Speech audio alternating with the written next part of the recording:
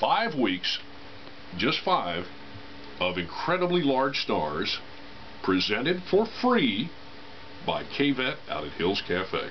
We start this Wednesday night with Wade Bowen, and the neat thing about this is not just a Wade Bowen concert, but it's the Wade Bowen CD release party. That's this Cool. this uh, Wednesday night, starting at six o'clock. As a matter of fact, who's the opening act? Oh man, put me on the spot. You told me. You told me the other day. I don't know. You don't know. Video camera going. I'll look it up here in a minute. But listen, here's the deal. The next Wednesday night, which is October the Eight. guess who the big star is? Doug Moreland. He, no, he's sitting right here. Yeah. He's our one and only uh, hometown homegrown boy, Kevin Fowler.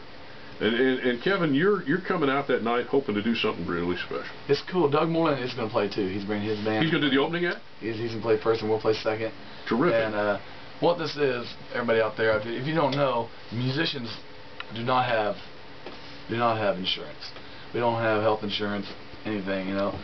And um, I get my merch guy Billy Applegate, who's with me for years, has uh, come down with brain cancer, and uh, and uh, you know he's hanging in there, but it, there's no there's no insurance, you know. And I've realized that in this country, if you don't have insurance, you don't get any care.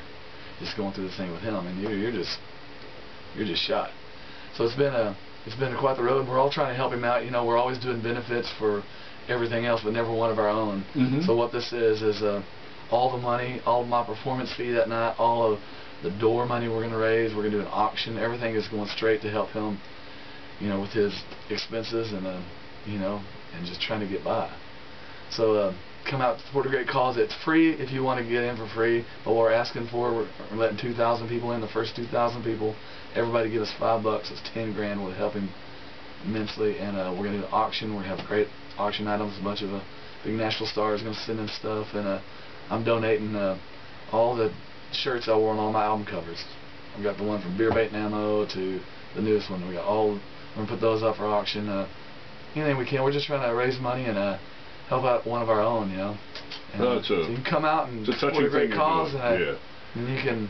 We're gonna we're bringing in the big rig. The, your neighbors over there at Hills Cafe. I'm warning you right now. It's gonna be loud. It'll be loud. We're bringing in our big sound system, our lights, and the whole nine yards. All right, that's a week from the from this coming Wednesday night. And again, uh, if you if you just were brushing your teeth or whatever and didn't quite catch all that, uh, when Kevin's playing next Wednesday night out at Hills on the KVET Roadhouse Series, uh, everybody gets in free, but Kevin's asking everybody that comes to give five dollars uh, for uh, his fellow band member and bandmate that uh, has brain cancer. If everybody will do that, that should raise ten grand, and then you're going to give well, another I'm gonna ten try to, I'm trying to dollars. match. So uh, it's gonna be a cool deal, you know. You'll match it. Yeah. Terrific.